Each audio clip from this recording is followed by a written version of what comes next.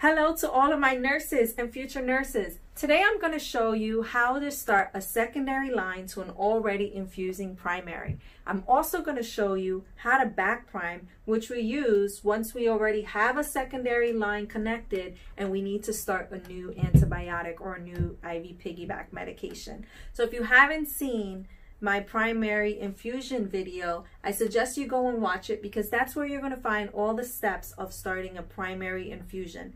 Today I'm going to skip all of those steps and I'm just going to connect my secondary.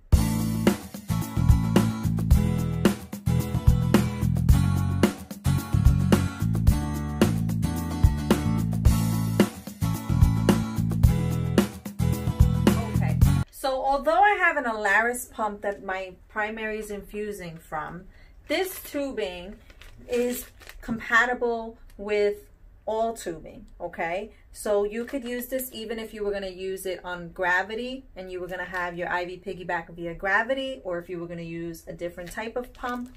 For the most part, this tubing is compatible, okay? So I just want to show you the tubing says secondary medication set.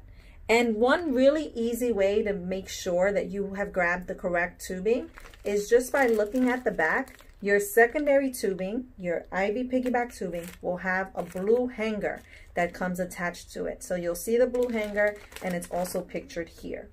Now, every tubing has a perforated line down the bag, okay? So you don't have to, you know, put your teeth to it. You just look for the perforated line and just rip down the perforated line to open the bag. So what I'm gonna do now is go ahead and rip the bag open and grab my tubing.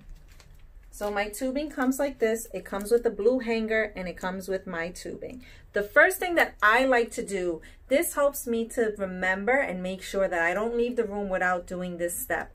First thing that I like to do is grab my primary bag and hang it on my hanger okay? Because this is the best way for me to actually administer this correctly. The primary bag needs to be below the secondary bag. So notice, okay, I just want to bring your attention to this. The hanger came with my secondary tubing, okay? But it is for the primary bag. So that's the first thing that I like to do. The second thing that I like to do is this tubing comes open, meaning the roller clamp is open, okay? I want to make sure that it's closed before I spike my bag because once I spike my bag, that medication is going to run through. Now notice that my secondary tubing is not that long, okay? So I could lose my medication very quickly. It's not that long because it doesn't need to be. This does not need to reach my patient. It only needs to reach the first port from my primary bag. So let's just go to this. I just want to bring your attention to this. This is my primary bag. And if I go down my fluid chamber, I follow my tubing down. The first port that I find is where I'm going to attach this. So sometimes I've seen some of my students attach their piggyback to this low port and you can see that the piggyback is really stretching. It's really being pulled. And that should be your first indicator that you have attached it to the wrong port, okay? If it's pulling, that's a first clue. That's why you check your work and you say, wait, does this make sense? I shouldn't be connecting it to my patient. I shouldn't be connecting it to the low port. I need to connect it to the first port from the fluid chamber. So that would be this one, okay? So that's why this tubing is not as long as if you were to look at my primary tubing. Look at this. You see it's in the pump and it's going down the pump and look how long it is, okay? So the first thing that I wanna do is go ahead and close my roller clamp. Now, if my primary tubing port did not have one of these antimicrobial caps on it, I would clean it right at this point just because we need to allow it to dry. But it does have a microbial cap, antimicrobial cap on it, so it's considered clean. And I'll show you that once we get there, so I don't need to wipe it. So right now, all I've done is hung my primary below and clamped my tubing, okay? The next step is Obviously, I would have checked my medication, done my five rights. I'm going to go ahead and take off my blue port and I'm going to spike my bag.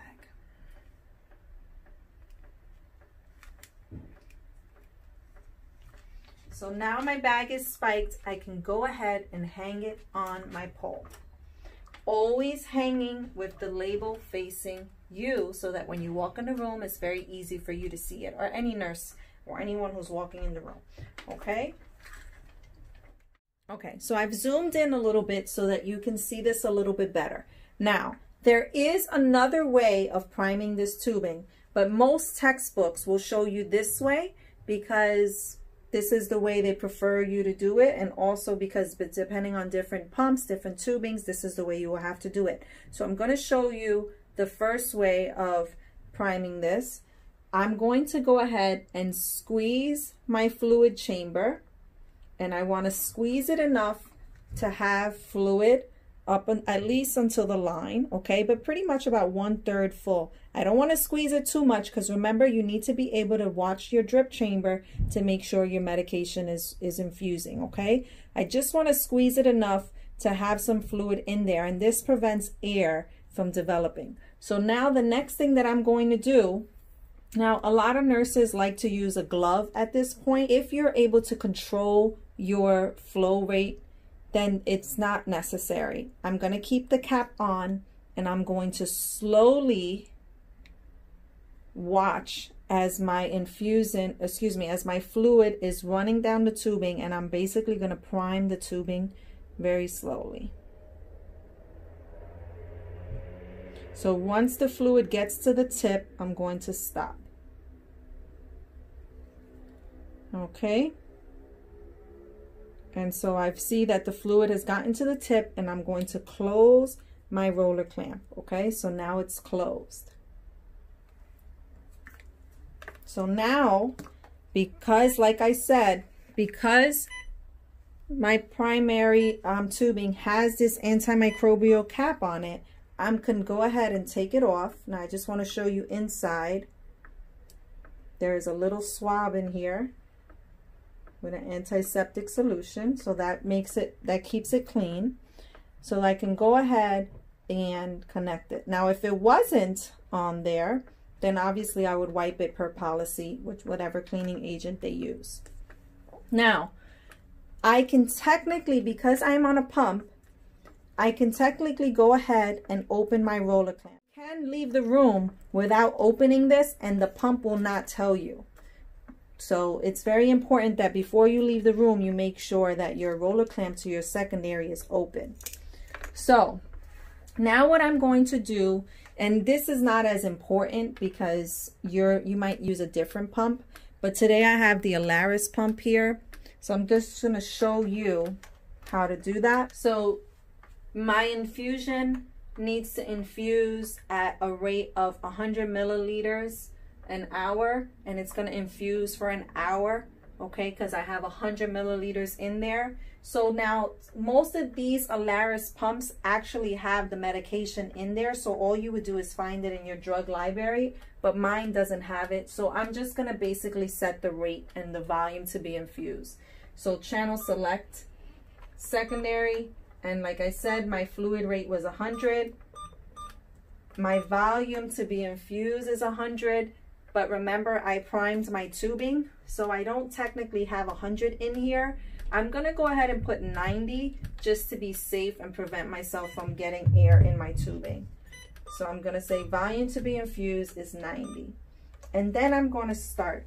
Now, this pump, before I press start, it says, is your roller clamp open? So that's another reminder to check your roller clamp. So what I should be seeing right now is my secondary infusing, but my primary should not be infusing. So just a quick reminder, when you hang a piggyback, remember that your secondary is going to be stopping your primary for the amount of time that it's infusing. So for the next hour, only my ciprofloxacin is going to be infusing.